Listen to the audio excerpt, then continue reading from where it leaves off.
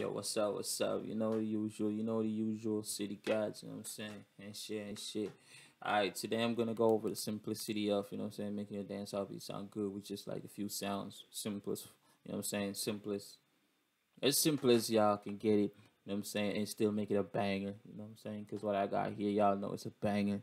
Every beat I put up, you know, it's a banger. So, you know what I'm saying? Shit be a banger. So I'm gonna let y'all hear this, you know what I'm saying? And y'all can judge for yourself. Could this shit be a banger? Then I'm gonna go over the breakdown of how I come up with the sounds, how I you know I'm saying? Create this and that and the drum patterns, stuff like that. And then I'm gonna mix it, master it, and then, you know, organize it. And y'all can see my whole process of how I do my thing. You know what I'm saying? Because this should be a banger. So let's go.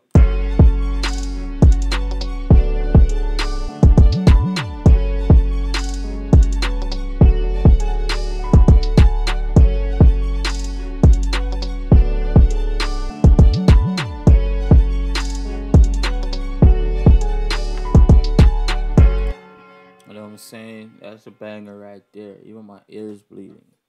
That's a banger. Now, first thing first, I'm gonna go on my D sharp minor scale right here.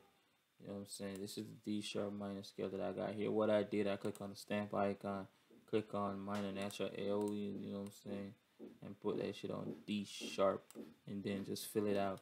Like you can always do that as reference and just follow off of it. A lot of people probably be like, oh, that ain't professional. He ain't no pro. He's this and that. But at the end of the day, FL Studio has all the tools, has everything on on the inside of it, uh, on the inside of its interface, where you can use to create magic.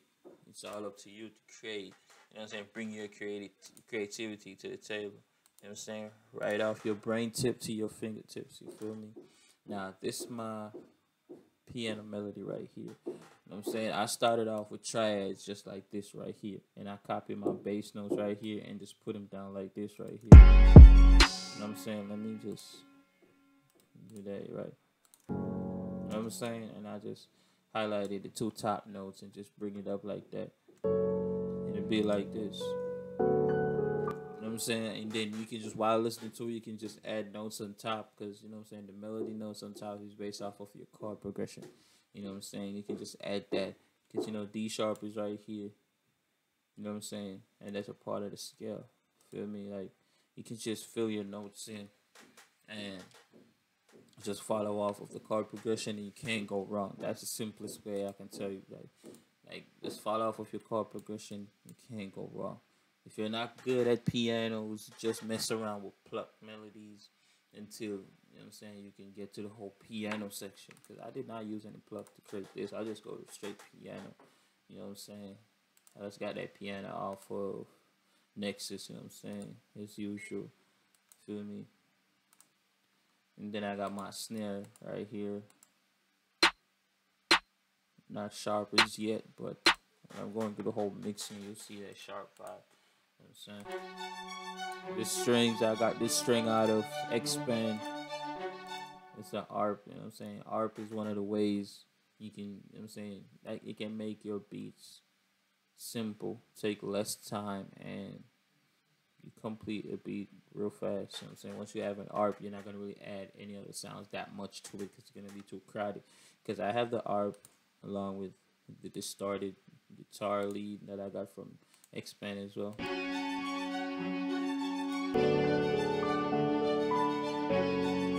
know what I'm saying? I realized that okay, those sounds are alright, but I don't want to add anything too crowded and too much. So I just pull up with a guitar pluck right here, and then I roll with the strings, and I just add everything like this. You know what I'm saying? And that's just it right there. Feel me? And if you add everything together, like know what I'm saying? You hear the guitar pluck, and I got this guitar pluck out of uh, what's this? It's Purity. It's called Clean Mute. You know what I'm saying? It's a guitar pluck. You know what I'm saying? And it, the rest of the sounds is just pretty much drum patterns and percussions and stuff like that. You know what I'm saying?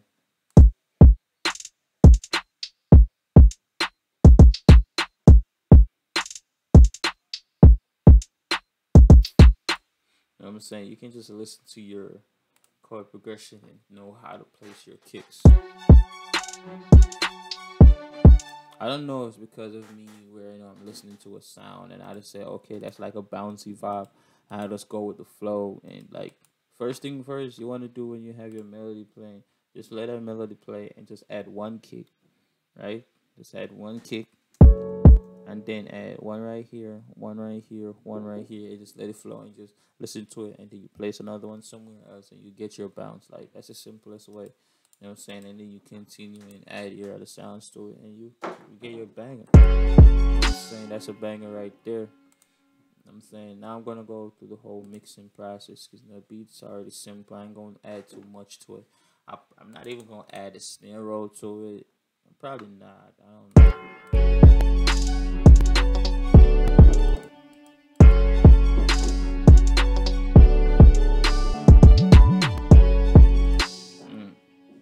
Probably add a snare roll. I may not, but I'm saying it's cool.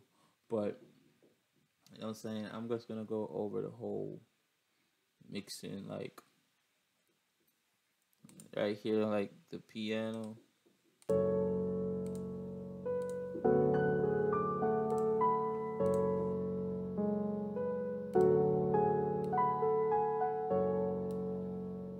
Yeah, you don't wanna have too much of that bassy feel in the piano. You not want to take too much out. You know what I'm saying? And you lower your volume a little bit. And the snare, you know what I'm saying? You gotta keep that sharp. I push it up. The number six band up a little bit on the midsection, and number seven, I just, you know what I'm saying, cut it down.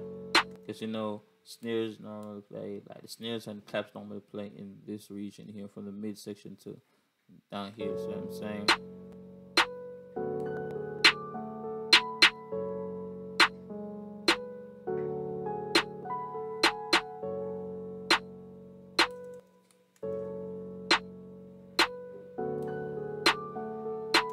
So you get that nice sharp feeling out of it. You know I'm saying lower the sound a little bit.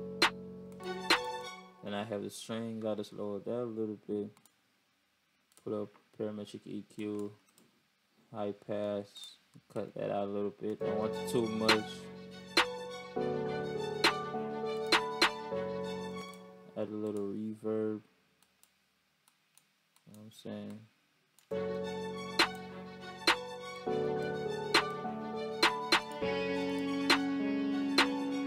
Because you're gonna want to give spaces to your sounds to like play.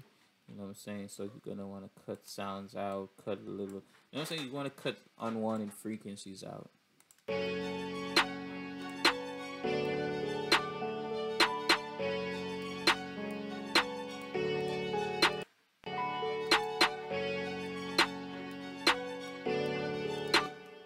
know what I'm saying?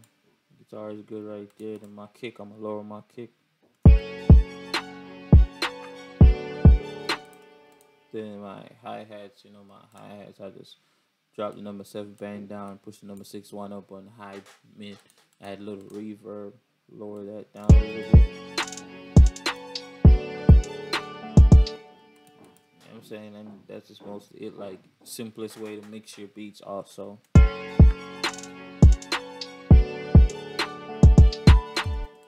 Then I have my 808 slamming.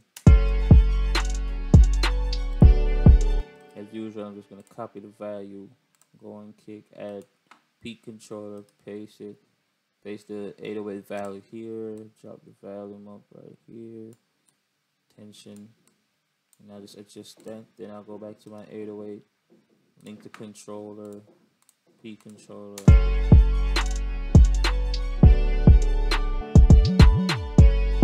know what I'm saying? Then I have my guitar pluck. Now I'm not really gonna probably take much out of the 808. Like, ain't nothing much to take out of that, to be honest. Like, once you put up your 808 and you adjust, like, as you see that I did right here, you mess around with the knobs a little bit. You know what I'm saying? You can even mess around with the ending. You know what I'm saying? Like that. I'm saying that you're good, so you don't really have to do too much on the EQ inside of the 808. Now for the guitar pluck.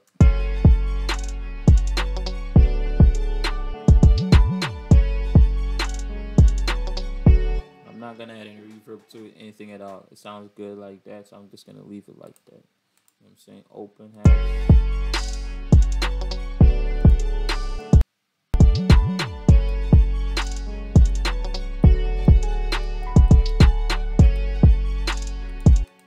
You know I'm saying? And I have this sound.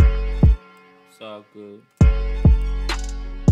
That's just basically it right there. You don't have much sounds and like you just have the ARP. Once you have an ARP like this and whatever chord progression you have, you just copy it, paste it. And as you can see, it's the same chord progression that I have for the piano without the counter melodies and all that. And then you have your ARP lead. Like dancehall beats are just mostly like chord progressions, like you know I'm saying chord progression, melodies, um, a counter melody, lead, something for the chorus, and just basically that. You just gotta have like different sounds, different parts, and just basically that, and then comes the other part with good mixing. So yeah, that's where you're gonna have to have good sound selection, where you have good sounds, so you don't have a lot to do when it comes to mixing. As you can see, my sounds that I choose are already sounding good and already slamming. I'm saying banger. So, you know I'm saying? I don't have to be doing too much in the mixing section because, you know, this should already be a banger. So, all I got to do, I just pull up, you know what I'm saying? Go to my master channel, get a Parametric EQ, you know what I'm saying? I'm not an engineer, so I'm not going to do too much. You know what I'm saying? Pull down the number seven band, number one band right here.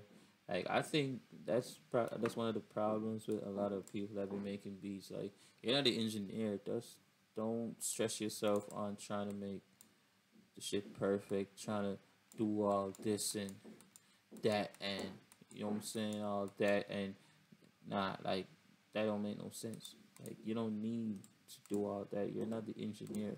You know what I'm saying? Just keep your stuff simple. You know what I'm saying?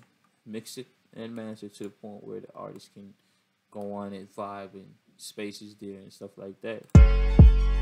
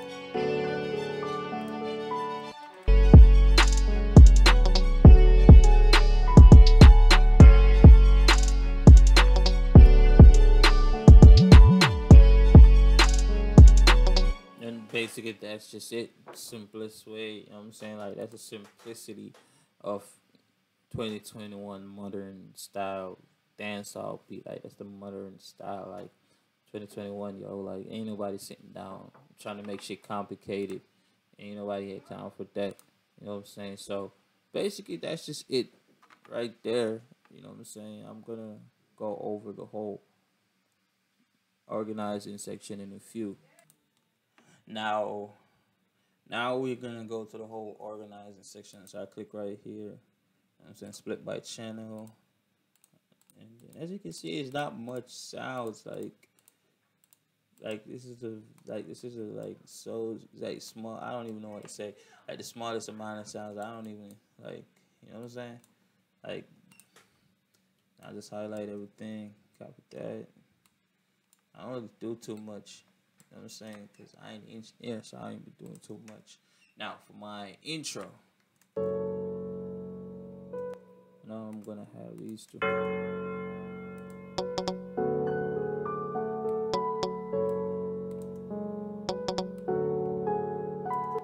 Probably just have that there, cut that out.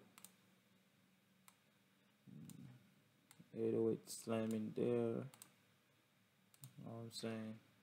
You just gotta know the sounds that you want to have in your intro.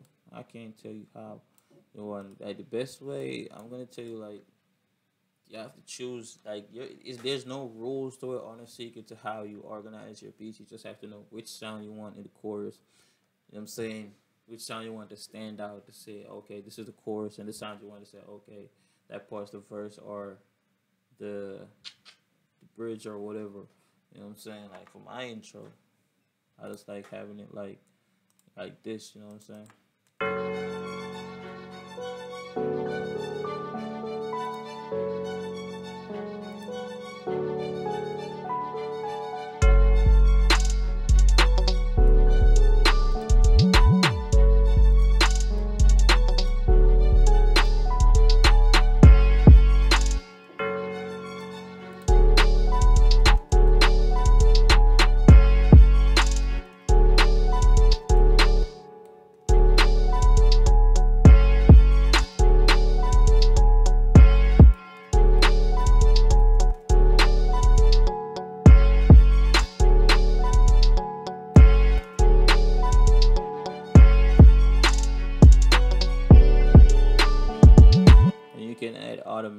Clips to it but i'm going to show you that in a few after i finish with all this right here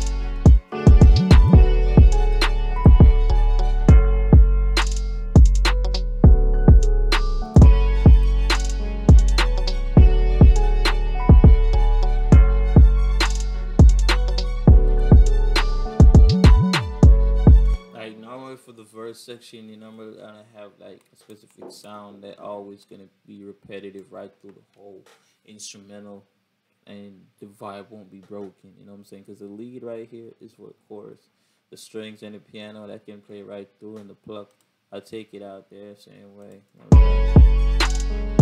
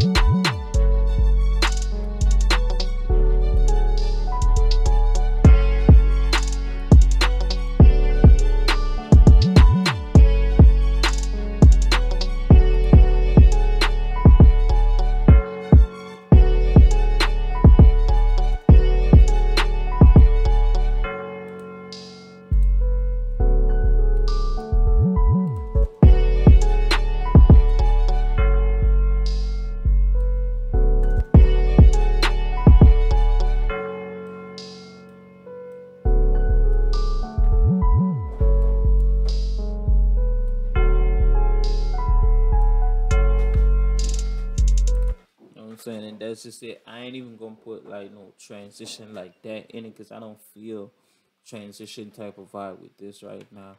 I just feel like I'll just pull up like with an automation clip, you know what I'm saying, and just give it that ambient type of vibe, or like type of vibe, I guess. But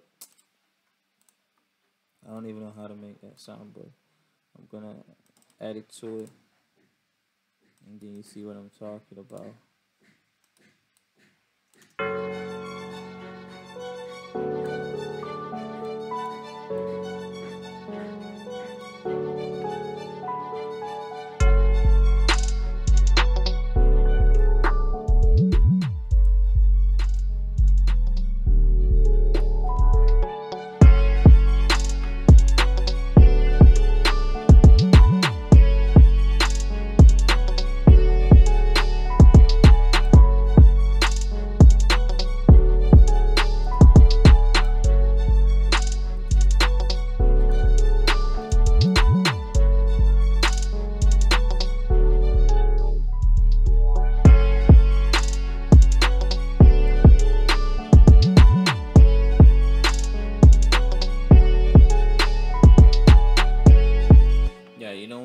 Too much into it because sometimes it spoils the whole instrumental. But you know what I'm saying? Because we're here though, I might just add it again right here.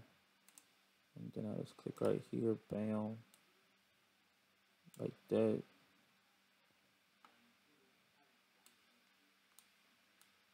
You know, because with beats like this, you gotta, yeah.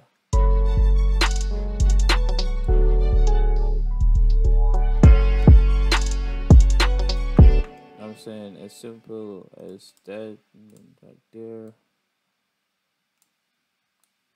I just have that little part right there maybe.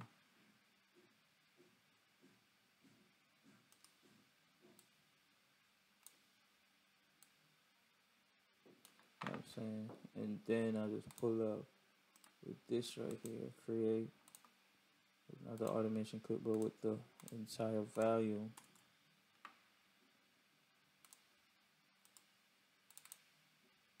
I like having my colors on my stuff.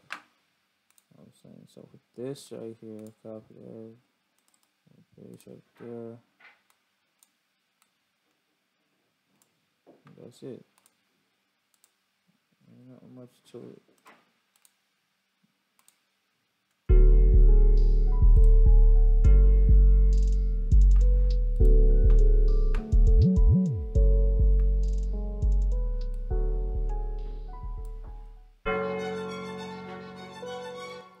Saying? And I probably just add my stuff to it, my beat tag, you know what I'm saying? Spice it up a little bit. You know what I'm saying?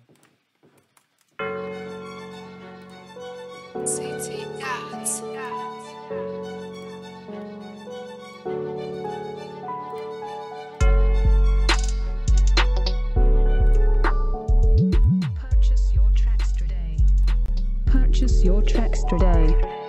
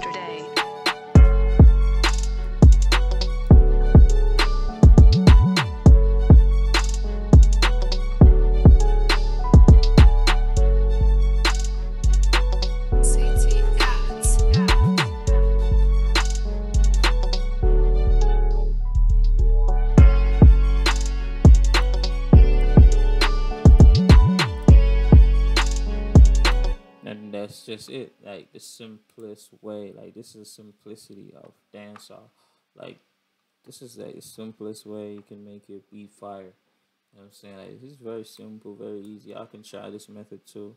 I mean, like after you finish, you like you're probably not too crazy about snare rolls because not every beat that you make has to or have to have like a snare roll or some other type of roll in the ending or to signify some whatever. Like you can use automation clips, you can use transition. Like not all the time I want to use snare roll. And to be honest, while listening to this, I did not feel a snare roll type of vibe. I did not feel a transition type of vibe. I just let the automation clip give me that type of vibe. Because if you listen right here, it sounds like there's like a transition type of vibe.